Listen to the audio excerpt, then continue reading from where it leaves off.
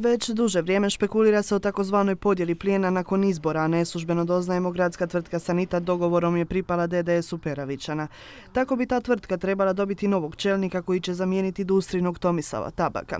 Šuškalo se kako će to biti Marijan Dadić, dosadašnji čelnik Boninova, koji je na to radno mjesto stigao iz hotela Admiral i koji je blizak DDS-u. No kako neslužbeno doznajemo, Dadić je to mjesto odbio. Ovakve navode Perovića naziva budalaštinama. Zatekli ste me na autoputu povratku iz Zagreba gdje sam se jutro rano uputio. Gluposti ne želim komentirati. Marijan Dadić, DD, član DDS-a i ne znam, ja mu takvu mogućnost studio nisam ni s njime razgovarao, a ko to njemu nudi i ko je to vas dezinformirao nije mi poznato.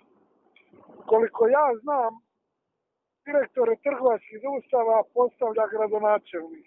Pitali smo ga je li on postigao dogovor s HDZ-om i je li sanitat pripao DDS-u. Što znači pripao DDS-u?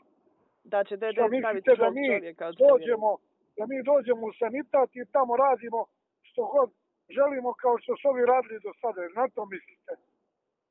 Pa Ja sam o sanitatu govorio u kampanji, vidite što sam govorio u kampanji. Sanitat radi na imovini građana grada Dubrovnika. Radi na apsolutnom monopolu. I, I to je tako. I prema tome tako se treba odnositi po nas. Ja sa mnom niko o tome na takav način nije razgovarao.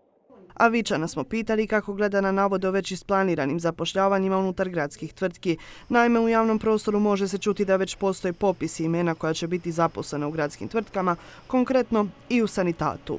Ništa ja o tome čuo nisam. Ja nisam nikoga zaposlio, niti planiram bilo koga zaposliti.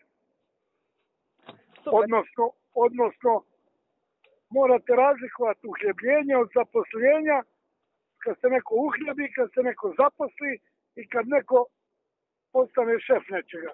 Kako smo već izvještavali, Tomislav Tabako odbio je ponudu da sjedne na čelo Libertasa, pa se navodno osoba za tu poziciju i ne može baš naći. Inače, Marijan Dadić bio je praktički nevidljiv na čelu pogrebnog poduzeća Boninova, jedino po čemu ga je javno zapamtila je izgradnja grobnica za koje nije dobio konzervatorske suglasnosti.